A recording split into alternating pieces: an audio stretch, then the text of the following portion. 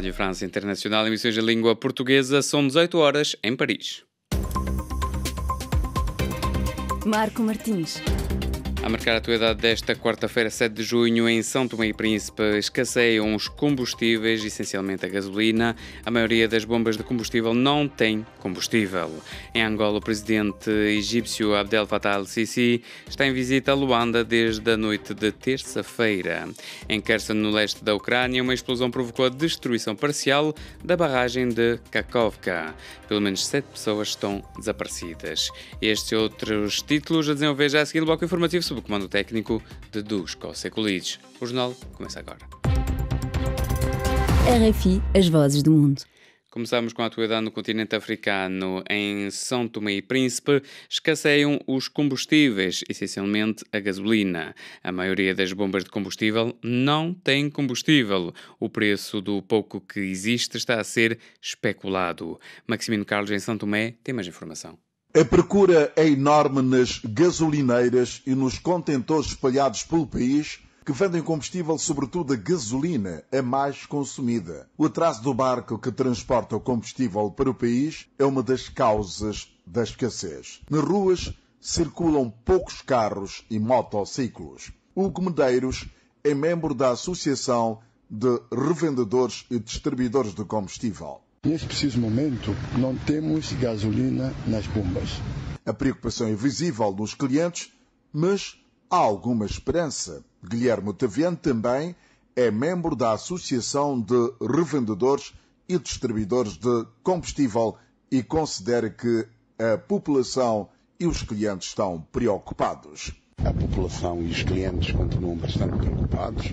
Não é tão verdade que está iminente o aumento do preço de combustível, como refuta Hugo Medeiros. O que é mentira. Para mantermos as bombas, temos que buscar num outro sítio que é para sustentar a bomba. O governo, numa nota tornada pública, anunciou a chegada na próxima sexta-feira do combustível. Maximino Carlos, São Tomé, RFI. Em Angola, o presidente egípcio Abdel Fattah al-Sisi está em visita a Luanda desde a noite de terça-feira. Paulo Inglês, vice-reitor da Universidade Jean Piaget, faz-nos uma breve panorâmica das relações entre Angola e o Egito e a respectiva diversificação. As relações entre o Egito e Angola têm conhecido novos desenvolvimentos, sobretudo nos últimos quatro anos. É uma relação antiga que já vem desde os tempos da luta pela libertação nacional, em que muitos nacionalistas se refugiaram no Egito e tiveram apoio do Egito. Mas depois, em 1976, foi quando começaram as relações diplomáticas entre o Egito e Angola. Ultimamente tem havido interesse eh, econômico, sobretudo, na área de tecnologias. Por exemplo, o Egito é, tem uma empresa, o terceiro operador móvel em Angola é uma empresa egípcia. Além do interesse na parte de eletricidade, o Egito tem uma uma escola de diplomacia muito boa, então há formação de diplomatas nesta escola e também no ramo da defesa eh, do exército, formação de, eh, de militares de alta patente nas academias egípcias. Paulo Inglês, vice-reitor da Universidade João Piaget, entrevistado por Nelson do Nascimento. Bissau 94 FM Prosseguimos com a atualidade internacional. Em Kherson, no leste da Ucrânia, uma explosão provocou a destruição parcial da barragem de Kakovka. Pelo menos sete pessoas estão desaparecidas na sequência das inundações e milhares tiveram de abandonar as suas casas. Stefani Palma tem mais informação. É uma catástrofe que não deixa ninguém indiferente. A explosão na barragem de Kakovka provocou grandes inundações que acabaram por originar muitos danos materiais e não só. Há casas completamente inundadas, pessoas a tentar fugir, outros a tentar salvar os seus familiares e também os animais de estimação. É uma autêntica corrida contra o tempo. Fontes oficiais ucranianas admitem que pelo menos 42 mil pessoas possam estar em perigo devido ao colapso da barragem. Para além disso, pelo menos sete pessoas estão em paradeiro incerto e milhares ficaram desalojadas. A Rússia aponta para mais de 2.500 casas submersas. As equipas de socorro continuam no local a prestar auxílio e a tentar encontrar vítimas. Tanto as forças ucranianas como as russas continuam a retirar retirar civis do local, uma vez que a barragem se encontra numa zona atualmente ocupada por Moscovo, na margem esquerda do rio Dnipro, mas as forças ucranianas controlam a parte situada na margem direita. A Ucrânia e a Rússia trocam acusações quanto ao sucedido. Entretanto, a União Europeia e vários outros países já enviaram ajuda para a Ucrânia, de modo a tentar que o país consiga superar esta crise humanitária. Uma nota cultural. Raízes e Ramos é o livro de estreia do cabo-verdiano Manuel do Rosário, uma saga familiar passada na ilha de Santo Antão, uma obra que o autor acaba de vir promover a Paris.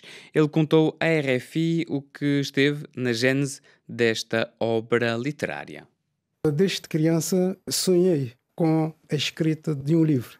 Isto porque comecei a ouvir os contos da minha avó, da minha mãe, de uma tia, e eu disse: tenho que escrever. Mesmo sem saber escrever ainda, comecei a sonhar. Com a minha reforma, passei a ter mais tempo, logicamente, e conversei muito mais com a minha mãe e refresquei a memória com os contos antigos da minha família.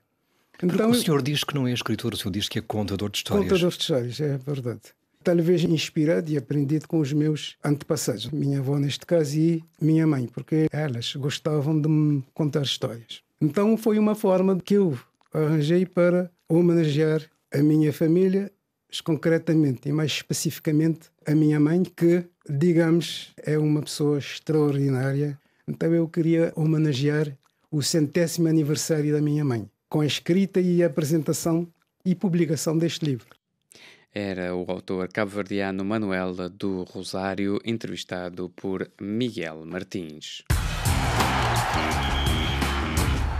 Em Roland Garros, o torneio parisiense de ténis, a brasileira Beatriz Haddad Maia atingiu pela primeira vez na carreira as meias finais de um Grand Slam. Desde 1968, nunca uma atleta brasileira tinha atingido as meias finais de um Grand Slam.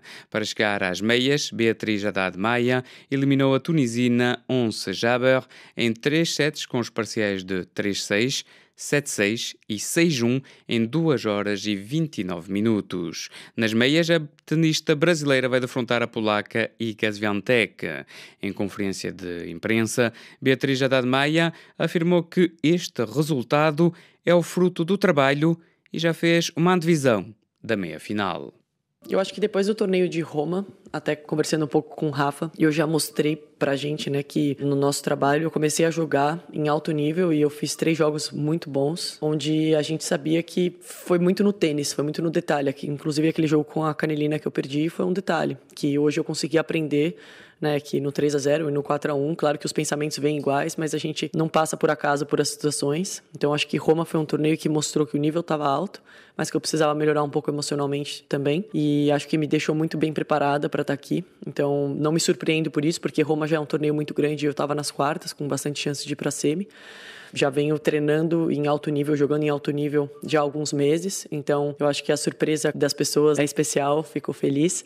Mas a gente que trabalha, que está no dia a dia, a gente enxerga isso com os olhos abertos e muito do que a gente planta todos os dias. Então, acho que a gente merece e a gente trabalha para estar tá nesse momento. Ainda não sei exatamente o horário, mas vou cuidar bastante do meu corpo antes de pensar nela. Ainda tem que recuperar o corpo, fazer fisioterapia, cuidar. A gente jogou com ela no passado, então a gente tem uma ideia. Vamos, enfim, estudar um pouquinho da parte tática mas me vejo bem, me vejo preparada. Acho que uma coisa que aconteceu no torneio foi que eu passei por diversas situações que me deixaram preparadas para agora ir para a semifinal. É, ganhei jogos jogando um excelente tênis, sem muito susto na primeira rodada, depois né, salvando match point, jogando mais de três horas, batendo recorde de físico, se desafiando mentalmente, se desafiando emocionalmente. Muitas situações difíceis e hoje consegui melhorar meu tênis, que era um dos objetivos. Então agora eu me sinto pronta para ir para a semifinal.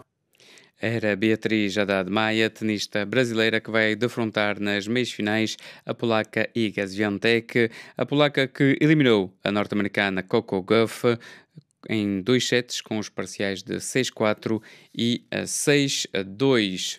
Estamos a chegar ao fim deste jornal. A informação continua na internet, na página rf.fr/pt, nas redes sociais, Facebook ou Twitter. Basta procurar RFI Português.